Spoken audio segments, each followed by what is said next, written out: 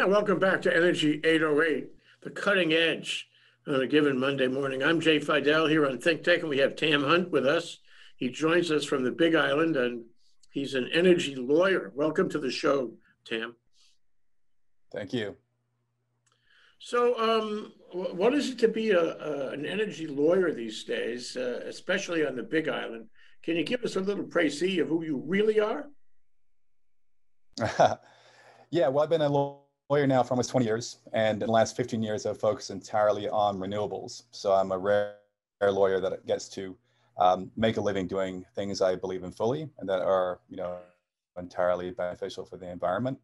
That means for me a mix of um, about half working on regulatory policy at various utility uh, dockets, mostly in California at the California Public Utilities Commission, I also help some solar developers and EV charging developers uh, get permits, uh, get connected to the grid, um, that kind of thing. So it's a nice mix of regulatory and contractual and environmental law. Yeah, sounds great. So, uh, you making any progress these days? I remind you that we have COVID going on. We have um, uh, economic crash. Or yeah, you've heard. Yeah, it's after a while, it's going to dawn on all of us um, and we have an economic crash going on. And, and then, of course, in California, we have wildfires going on. All those things don't really play well with the development of renewable energy, do they? They don't for the most part. There's certainly some benefits, um, you know, not very long lived benefits. So, for example, people staying home um, is leading to a near term drop in greenhouse gas emissions. This, though, is not going to last. Obviously, this pandemic will be gone. We'll probably roar back economically and probably have even more emissions. So, those who are celebrating the near term dip, I think, are being excited. What it does do, unfortunately, is really sets back initiatives like mass transit, um, taxis, car sharing, because these kind of effects will be for years to come in terms of diminished public ridership. And that's really worrying for me. Well, you know, uh, just to, before we get into the specific initiatives uh, we were going to talk about on the Big Island, I, I do want to mention that I saw an article in the Times this morning about how young people, you know, the young voters especially, are somehow becoming sensitized to climate change now. Uh, it's dawning on them that we have a serious problem. Maybe it's the wildfires. Maybe it's a it's the extreme weather in in the Caribbean. Um, but but the but the article stood for the proposition. I'm sure there was some evidence there um, that um, pe- people are starting to realize that that is a an important platform uh, point. And I guess uh, if you want to look at the two presidential candidates, it's really not a platform point for uh, Donald Trump, but it is a platform point, and maybe an increasingly important platform point uh, for Joe Biden. What about that? It is, yeah. Um, Joe Biden's got a great initiative actually looking to spend $2 trillion over four years on climate change mitigation and associated green tech and climate tech. And um, this is actually a really far-sighted plan he's put forth. Actually has some you know, great, and I wrote a summary I can share with your listeners if you'd like to send a link to them. Um, as for young voters, yeah, it really is actually a, a, a bankable issue um, a running issue. And I had to give a little plug for a show I watched recently on Netflix, which really is pretty inspiring and kind of fun. It's called The Politician. It's actually about a very young politician who runs first for a high school office and then he evolves into running for um, state senate in New York. And his main campaign plank is climate change. This show is meant to appeal to young voters. And it really is actually, I think, resonating in a real way that the planet is being uh, despoiled, to say, to say the least, by the older generation leaving you know a big mess for the younger generation to take care of. That's not cool. Yeah, we you know we've been we've uh, received a commission, so to speak, uh, a grant to make some movies about the relationship of climate change um, and COVID, how COVID affects climate change, and it does simply because of the different level of emissions, and how climate change affects COVID, which is an interesting sort of um, you know, biosphere kind of analysis. So uh, we're into that. We all have to be into that. And certainly, I think uh, when the Definitely. Democrats as and when the Democrats, um, you know, get back in in in, uh, in the White House, uh, there'll be they'll be the Green New Deal somewhere along the line, even if they're not completely embracing it sure. now. Yeah. Well, let's talk mm-hmm. about uh, the things that you wanted to discuss. One is the Green Conservation Corps in Hawaii. Uh, whoops, that's not in the right sequence, is it? Well, let's talk about it anyway. The Green Conservation Corps. That's fine. Hawaii County, uh, net zero energy. What is that? How does it work? And why do you want to talk about it? Yeah, so we have um, a local initiative we're calling um, Think Big on the Big Island, and Big stands for Big Island Green. And um, what we're looking at is really combining uh, um, the obvious, you know, depression level unemployment issue uh, we're currently facing the Big Island with the already existing urgent need to address climate change and recognizing that, look, we can and should see this as an opportunity to create local jobs, paying jobs that put in place more rooftop solar on county facilities, on carports, et cetera, puts in place EV charging stations, improves energy efficiency in buildings, builds new trails, maintains trails, builds new recreation facilities, uh, maintains existing rec facilities, um, all across the board, just like the Civilian Conservation Corps that was enacted by Roosevelt back in the 30s, that was actually quite successful in creating, you know, good jobs for a lot of young men. The new version, of course, in our century is men and women, but doing um, not only trail maintenance, et cetera, but really focusing on climate mitigation and our view is this could, in fact, be a real um, serious job creator on the Big Island and statewide and achieve some really great you know, improvements in quality of life. So, right now, we're um, pushing this at the county level and trying to coordinate with state level groups. And we, have some early support from the county council. And we, of course, are going to have to wait for funding. This will be an expensive measure. And we're going to have to wait for funding to come from probably the federal government, hopefully before the election, but um, I'm pretty sure after the election that will happen if um, President Biden comes in. And so we're really trying to lay the groundwork for this idea to get people, you know, aware and excited about the potential here to create new jobs that really can do great things.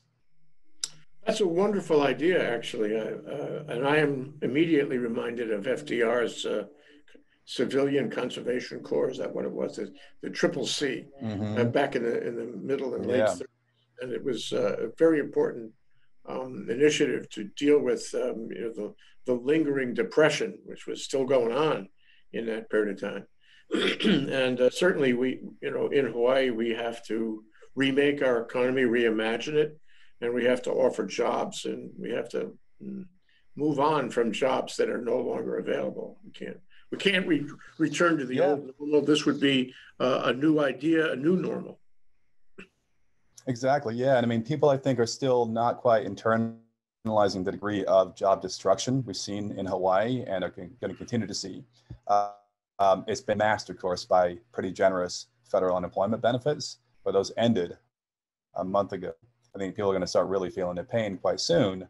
And we really need to get ahead of the curve here and get people working, doing productive things. And this is really a way to transform our local economies in a way that I think very few can argue with. Oh, I totally agree.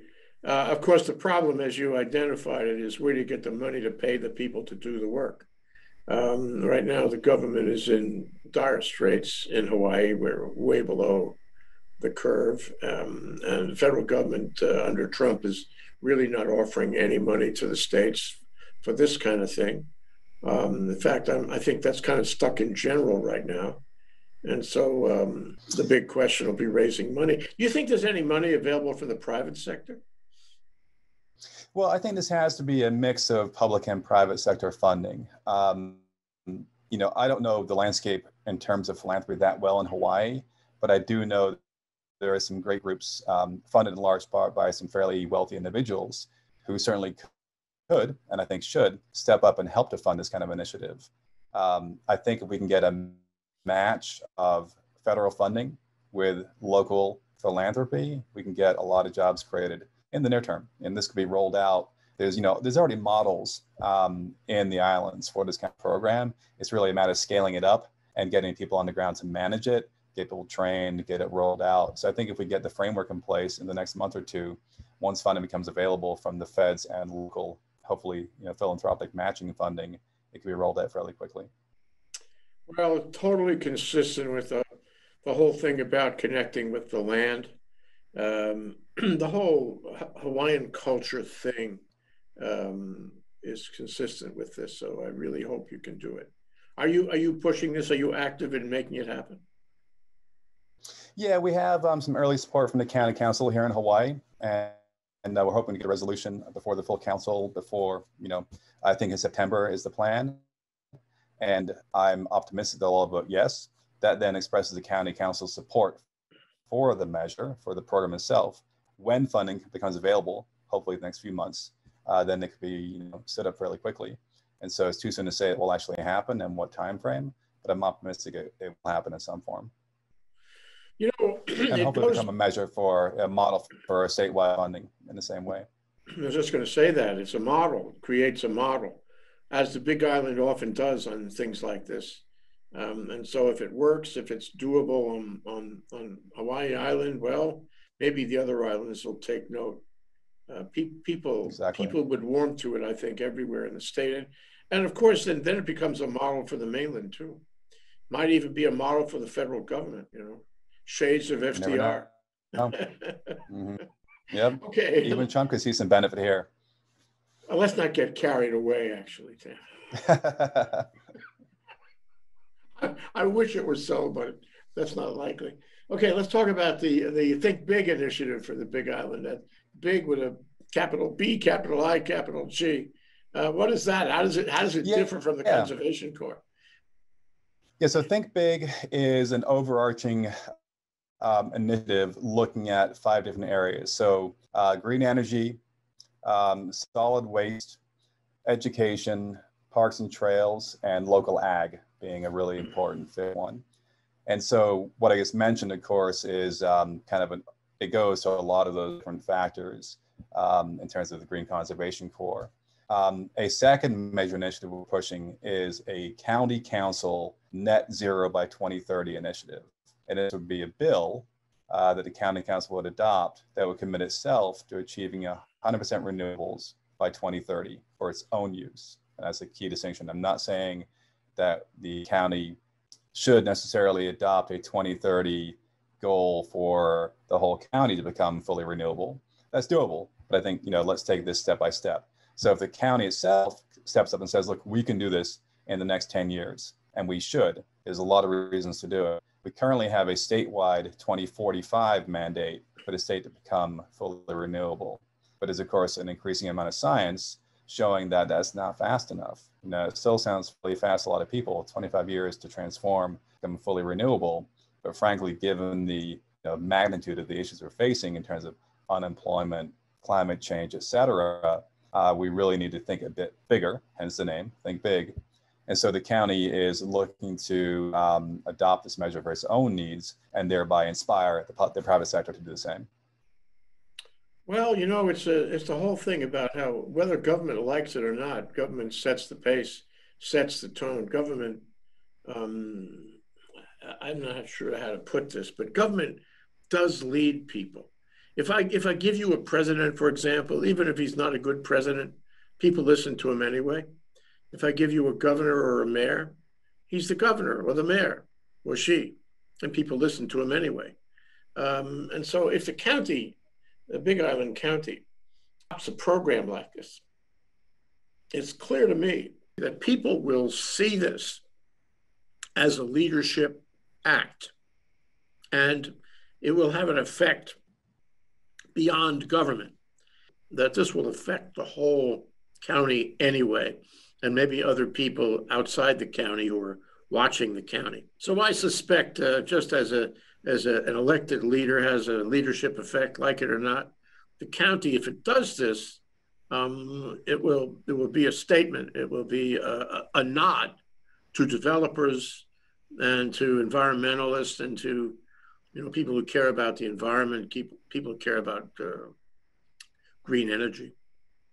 Don't you think so? It will. That's our that's our hope. I do for sure. Yeah, and the key thing we're um, discussing and highlighting in our advocacy is we don't want just a statement and um, a vague goal.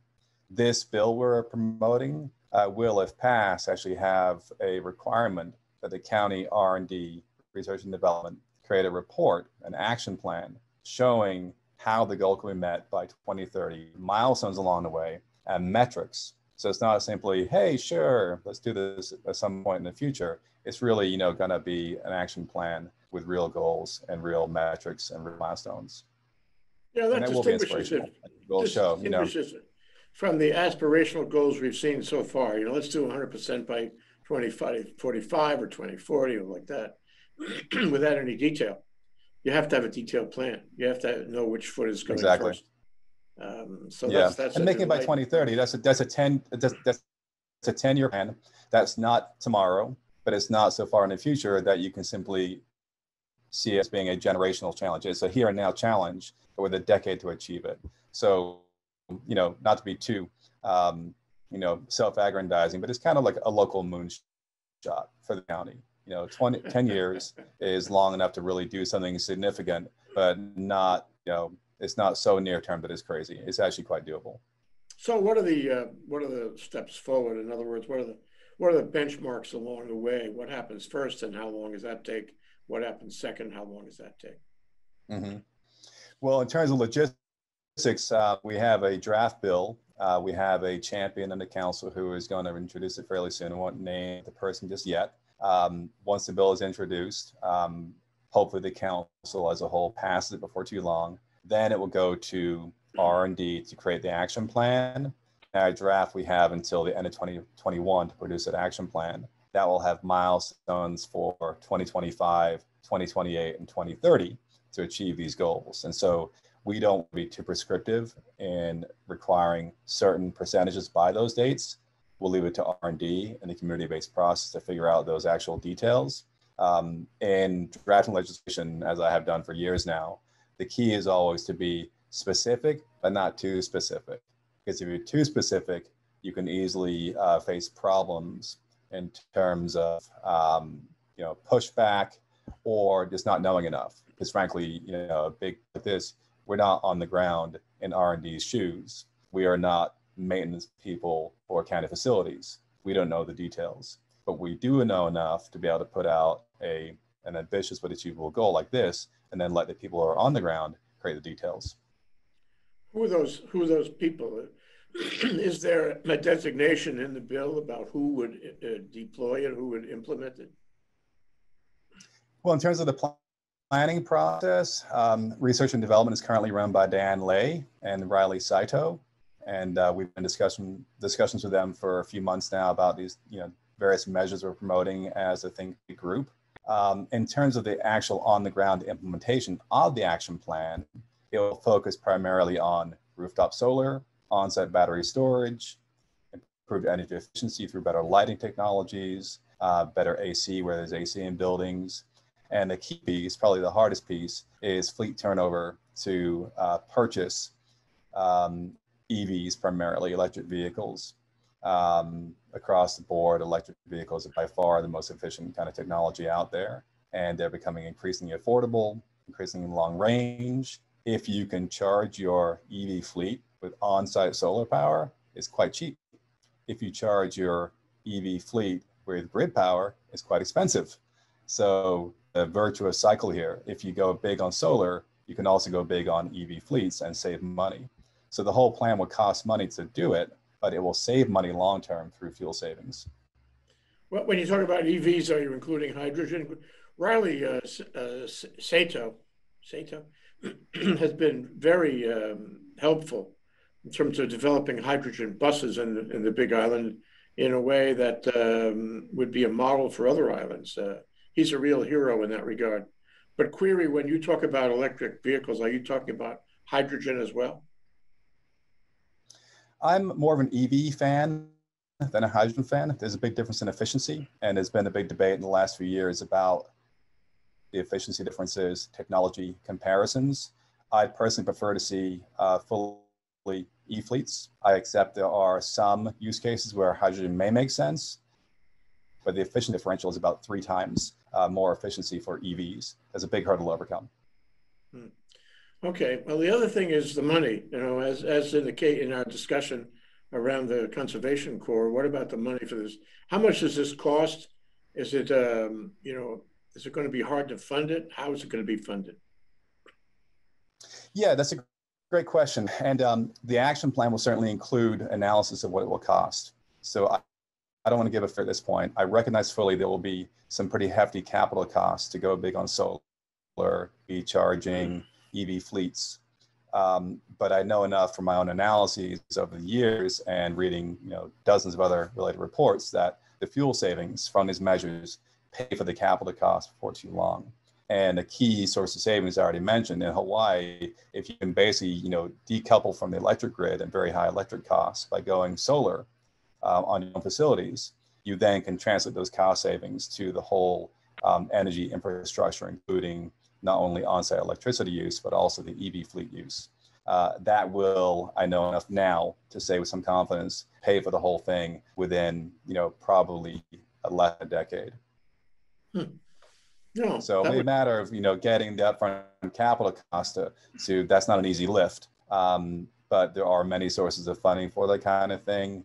Um, state is broke right now. We won't go there, but certainly some federal funding will be available for this kind of thing. Um, there is certainly various kinds of uh, private funding, um, hopefully available in some manner. Uh, and we're also hopeful that there will be community block grant funding for this kind of thing too.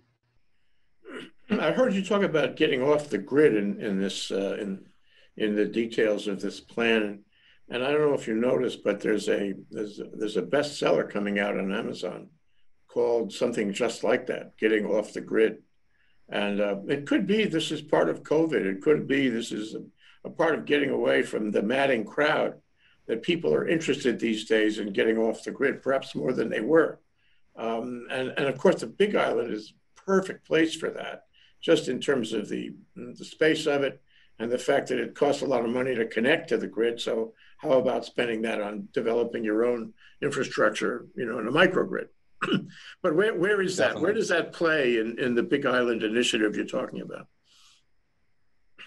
Yeah, well, microgrids um, is kind of the catch-all term here, and microgrids can be either um, their own disconnected grid or they can be connected to the larger grid. In this case, we'd want the best of all worlds. You'd want to have basically the ability to operate as a local microgrid to still have the larger grid to fall back on and to interact with. If you have excess power you can't store on site, you want to be able to send it to the grid through net metering or related policies. But you also want to use as much um, of your own power generated locally as you can. So in this case, when I talk about installing large amounts of rooftop solar, we want to see basically all county buildings become effectively microgrids with solar power and on-site battery storage and local EV chargers and charge as many fleet vehicles as you can from that on-site solar microgrid you know policy. Um, I work on microgrid policy for a nonprofit client in California called the Green Power Institute. And there's a lot of incentive now in California, especially to develop islandable microgrids because of all the wildfires and the power shutoffs. Um, we don't have quite the same situation in Hawaii by any means, but there are still uh, big financial incentives to become your own grid effectively in Hawaii. A lot of people are doing that, of course, for years now. We've seen a huge, um, you know, growth in rooftop solar, we have the highest solar penetration in the nation uh, for obvious reasons. We have very expensive power.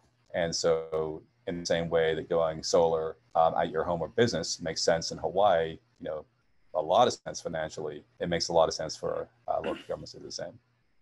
How does this affect uh, the relation of the, um, I want to say, ratepayer, user, consumer, and, and the utility, HELCO, on the Big Island? How, how would that be changed, if at all?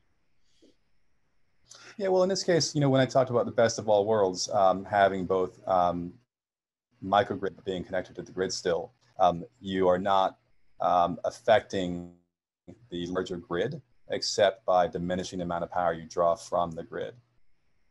And so it does not negatively impact um, other ratepayers because you're just going to be still paying, you know, some T and D um, part of your power bill.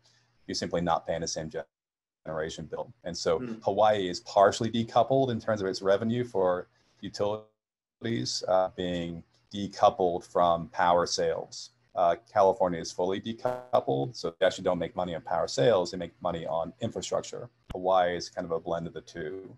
Um, so we should go toward full decoupling here in Hawaii to remove that incentive to sell power as a revenue stream. It should be instead fully um, infrastructure based. Hmm. Are you familiar with any jurisdiction which is using performance-based uh, rate making, or maybe that hasn't really happened anywhere but here? Yeah, well, Hawaii is leading the charge in that. You know, I've not been involved in that docket here in Hawaii, but I'm looking forward to it being finished and rolled out. It could be a real model for the rest of the country. Yeah. Well, you know, one thing that strikes me is that uh, some of the elements of, of these plans, I'm sure you've thought about this, the, the conservation plan and also the BIG initiative, the Big Island, uh, and, um, you know, the 100% renewables by 2030. Um, doesn't at least some of that require P- PUC approval? Um, no, uh, the two things I talked about today will not require PUC approval.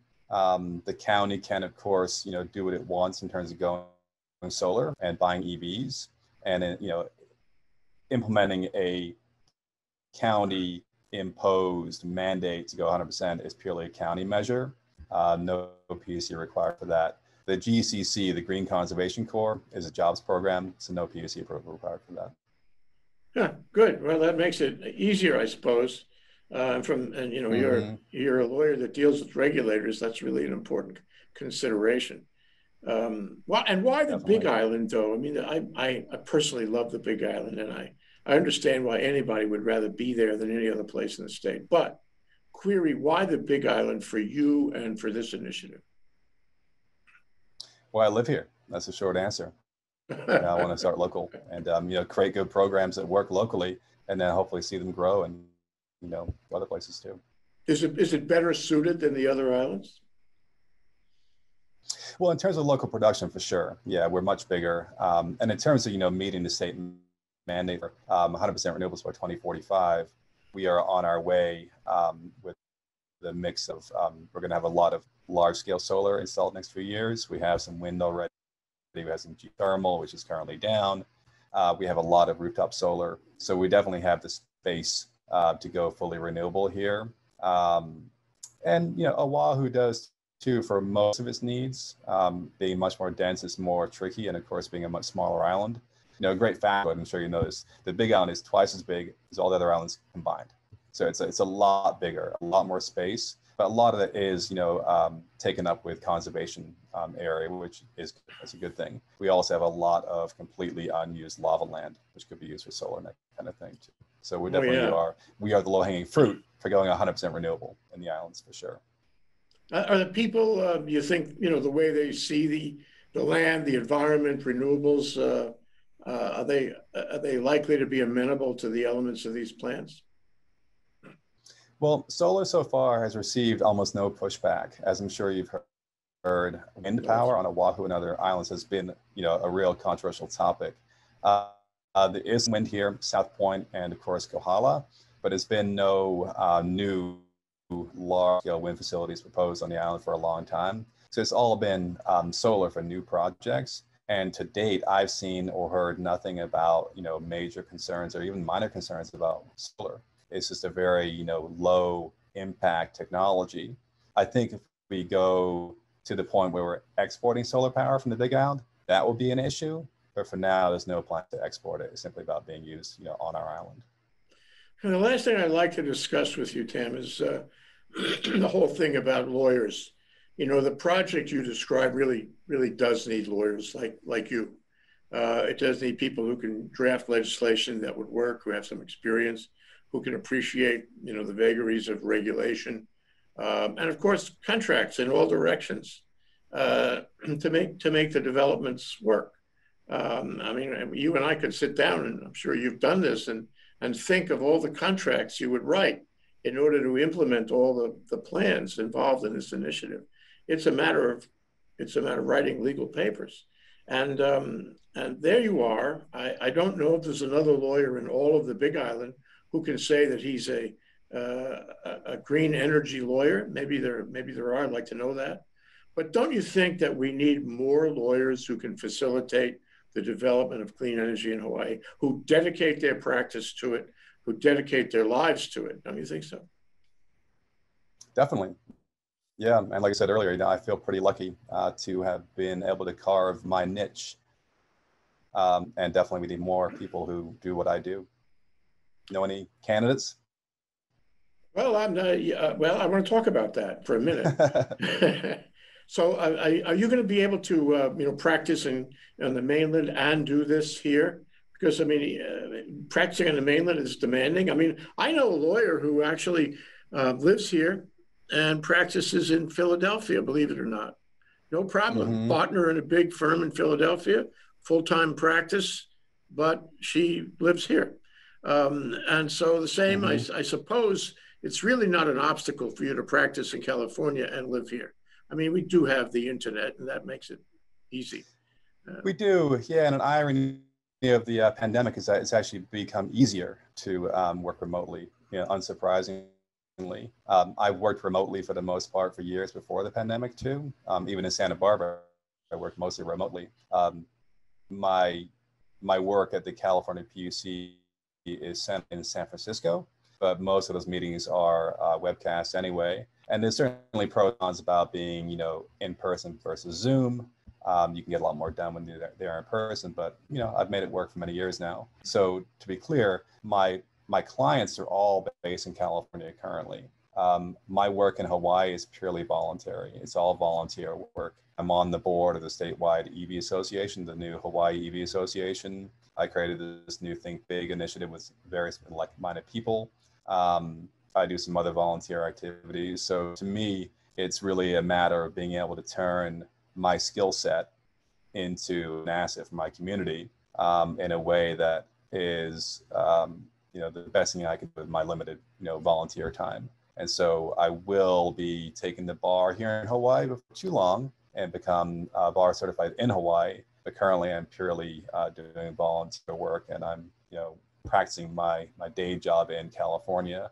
That may change for too long, but certainly I'd like to see more folks who do work entirely on renewables, or at least make it a big part of their practice here in Hawaii.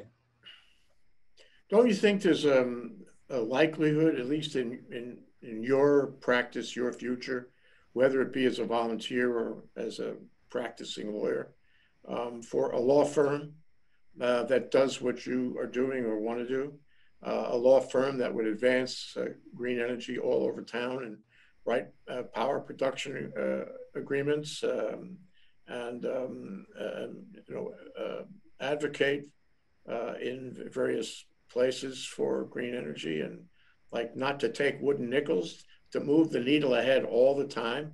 A law firm mm-hmm. that would be an environmental activist law firm. Isn't there room for that? Could that happen? Would you be part of that? There is, yeah, and I certainly would like to be more involved with like-minded people in Hawaii. Um, you know, there are some great groups doing advocacy. You know, Blue Planet, Ulupono, Sierra Club, um, doing great work, but they don't have the funding for uh, full-time lawyers. You know, it's just it's an issue. Um, even nonprofit lawyers aren't cheap, um, and so you know, Hawaii is ahead of the curve in many ways, but it's also behind the curve in other ways and having a, a thriving, vibrant nonprofit sector is a way, uh, when I compare it to my work in California, Hawaii could use a lot of improvement. Yeah, who knows? Maybe that's part of the conservation corps, you know, one element of it. Why not? Yeah, hiring lawyers. sure. Lawyers practicing conservation. Tam Hunt, uh, a lawyer who is doing very good work on the Big Island and has great initiatives and advancing great ideas for clean energy there. Thank you. Thank you so much, Tam.